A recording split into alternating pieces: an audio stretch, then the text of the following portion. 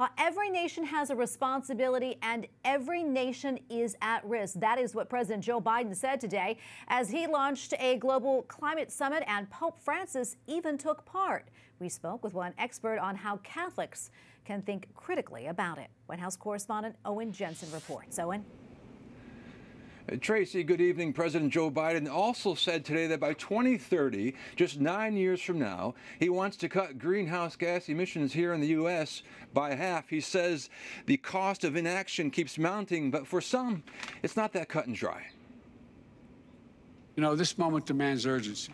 President Joe Biden says the nations of the world can't go it alone battling climate change and need to step up. He wants to build and deploy clean technology and promises jobs. Within our climate response lies an extraordinary engine of job creation and economic opportunity ready to be fired up. That's why I've proposed a huge investment in American infrastructure and American innovation. Saludo a ustedes que están reunidos. Pope Francis welcomed the meeting, calling it a wonderful idea and wishing them great success, saying nature is a gift we have received that must be cared for into the future. We need to ensure that the environment is cleaner, more pure. It needs to be preserved. We must care for nature so that nature may care for us. But not everyone agrees on all the solutions being offered.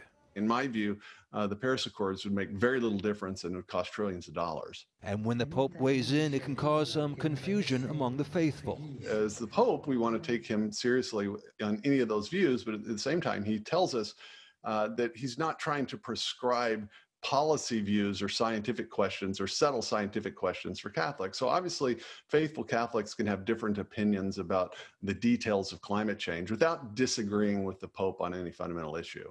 Also attending the summit, Russian President Vladimir Putin, who called on countries to join together in the climate change battle.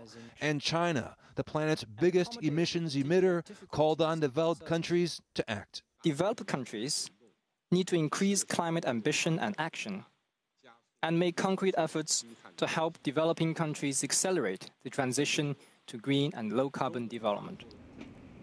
And on this World Earth Day, the Pope also said, quote, both global catastrophes, COVID and the climate show that we don't have time to waste. And tomorrow is day two of the Climate Summit. At the White House, Owen Jensen, EWTN News Nightly.